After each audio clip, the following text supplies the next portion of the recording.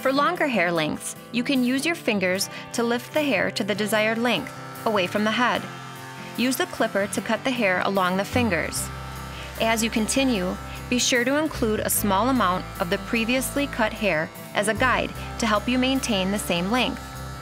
Like the clipper over comb technique, this is an advanced method that is not necessary for most styles, but demonstrates the versatility of a hair clipper.